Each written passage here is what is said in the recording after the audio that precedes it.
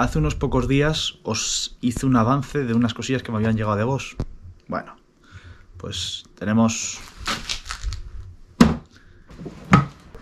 Nos viene con una batería de 5 amperios y medio, importante para la batería, cargador.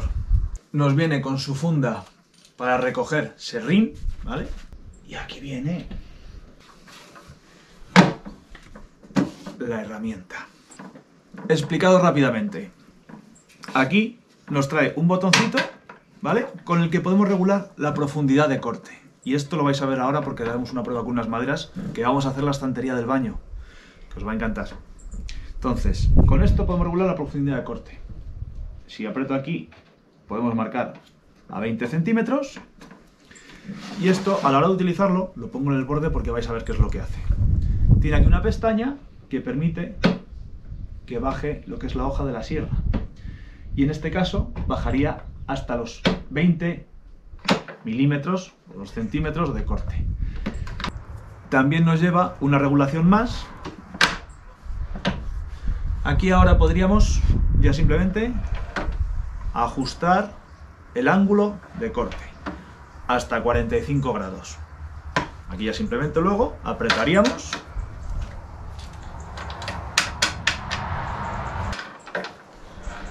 la ponemos otra vez a cero, apretamos y esto, vale, lo único que tendríamos que hacer más es colocar la batería y aquí tenemos una cosa muy interesante y os voy a acercar para que lo veáis. Tenemos esta pantalla aquí que lo que nos hace es poder regular hasta 6 velocidades o en modo eco, además de decirnos la capacidad de la batería. Si aquí le damos varias veces, ahí como podéis ver, aparece el número 6. Estaría al máximo de velocidad. Si le vamos dando, vamos reduciendo la velocidad, dependiendo del tipo de madera que tengamos. Obviamente a madera más dura necesitaremos más revoluciones y a madera más blanda necesitaremos menos, con lo cual ahorraremos batería. Junto con la herramienta nos llegó una cosa más, bueno, varias cosas más.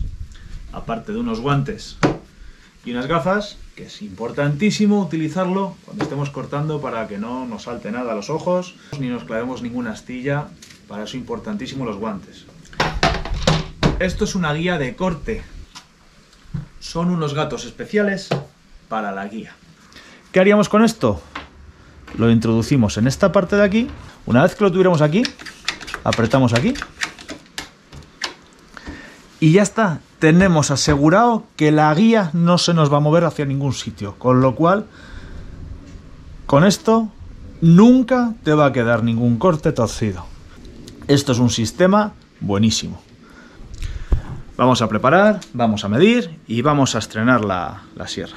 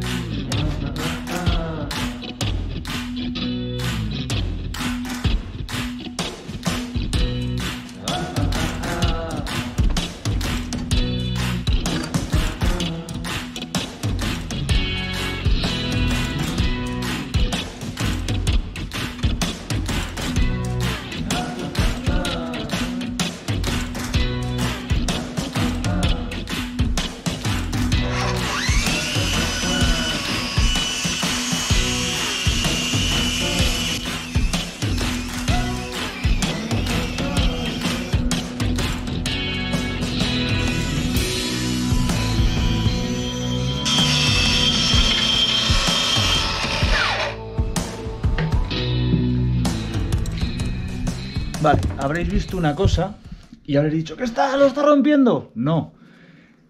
Este trocito de la goma que se ha estado cortando se corta con el primer corte. Lo estuve mirando, lo estuve investigando y pues eso, con el primer corte digamos que se corta el sobrante de la goma. Eso luego importante, importante que es antideslizante. Pero bueno, ahora ya sí que tenemos el corte ajustado y bueno, lo estoy tocando con el guante y está suave, ni se me engancha el guante. Mirar cómo ha quedado. Un corte perfecto sin astillas.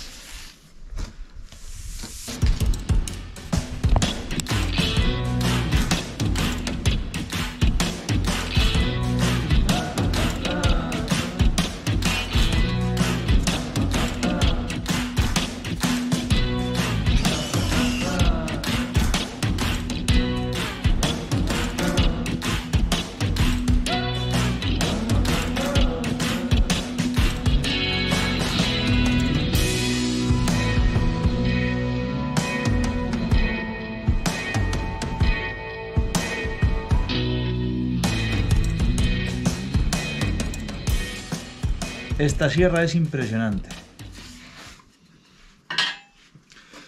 Pero ahora después también os voy a enseñar una cosa que vamos a hacer con los estantes, que va a ser un remate. Y una cosa que no he hecho nunca, que habría dos formas de hacerlo. Con una fresadora o con esto. La fresadora sería más imprecisa, porque la que tengo no me permitiría hacer esa filigrana. Y lo vamos a hacer con la sierra. Vais a ver a la que... De lo que os hablo.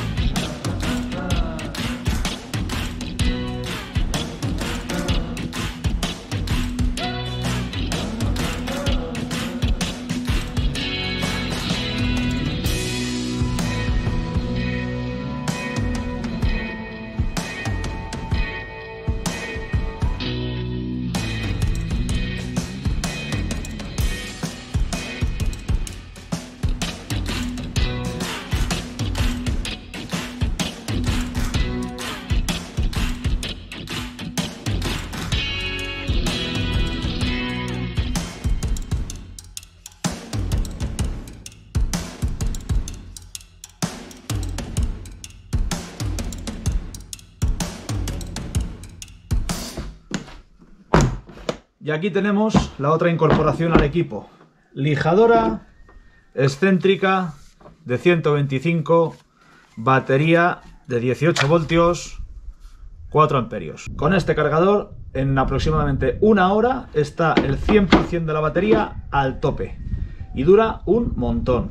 Esto simplemente la colocamos aquí. Y luego podemos regular la intensidad con la que la lijadora nos va a trabajar. Desde el 1 al 6, si lo veis. Al mínimo. Al máximo.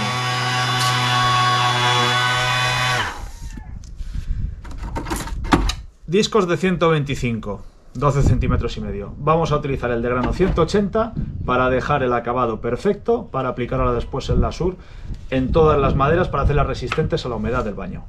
Así que vamos a darle chicha.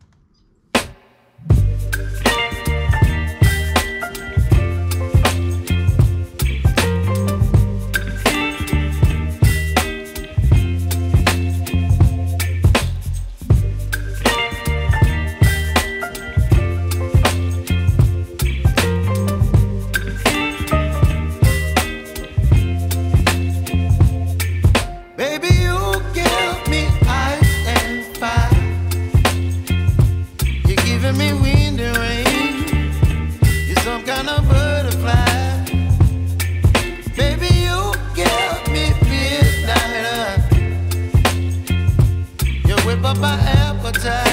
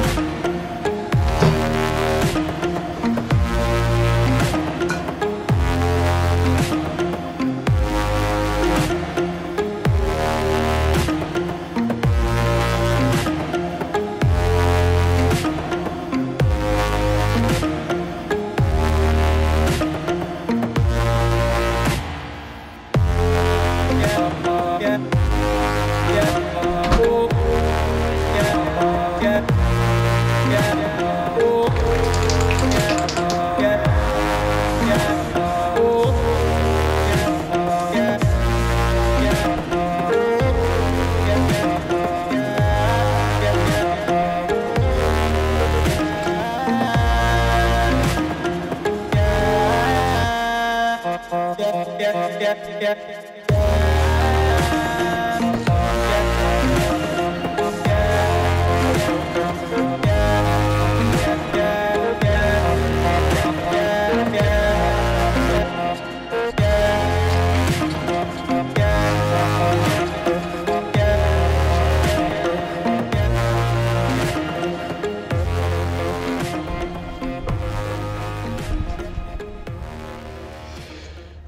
Vamos a poner por fin la estantería. Vamos a hacerle los agujeros medidos para luego ir con esto, marcar en la pared con el nivel para que nos quede a nivel, hacer los agujeros en la pared, poner los tornillos y dejarla sujeta. Vamos a ello.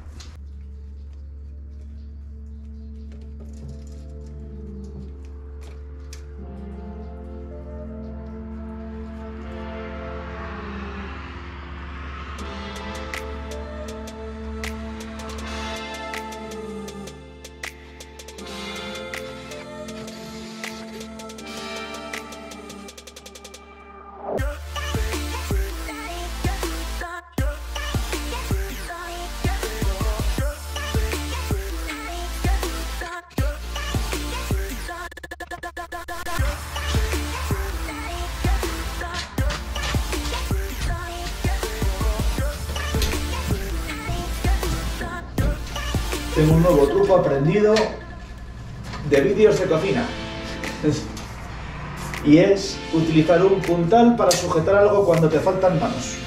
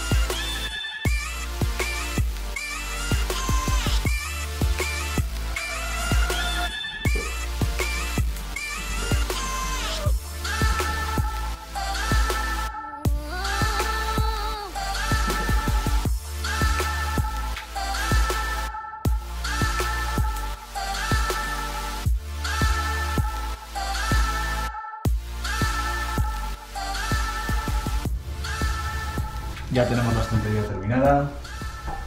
Me mola un montón cómo ha quedado. Tal como tenía en el coco. es verdad que me habría gustado, por el diseño que hice, meterle un estante más, pero ya quedaba demasiado cargado y el problema era que estos botecitos no entraban. Y no era el plan de tener aquí arriba todos los botes altos y aquí pues eh, cosas pequeñitas, que si cremita, que tal, que no sé qué. Nada. Así ha quedado perfecto. Y la plantita, pues bueno, como tenemos la luz directa de la ventana, que a mí me gusta siempre tener la puerta abierta, bueno, ahora no hay ni puerta, ya la haremos, eh, le va a dar la luz suficiente para que vaya creciendo. Si no, pues pondremos otra que necesite un poquito menos de luz. La cuestión. Esto. Eh, tenemos que hacer algo con esto. Vale que nos falta el lavabo, pero tenemos que poner aquí el espejo y la luz. La luz todavía no la he cogido, pero va a caer ya. Y el espejo tenía unos soportes que eran unas garras que venían por aquí abajo. Mira, aquí de hecho tengo una marca azul de donde caían. Y lo que no quiero es hacer cuatro agujeros en, el pladur. Quiero como mucho hacer dos. Y en la parte superior. Pues bueno, vamos a desenfundar de nuevo nuestra amiga que me moló mucho. Y vamos a ver si puedo o consigo hacer una cosa con esta madera.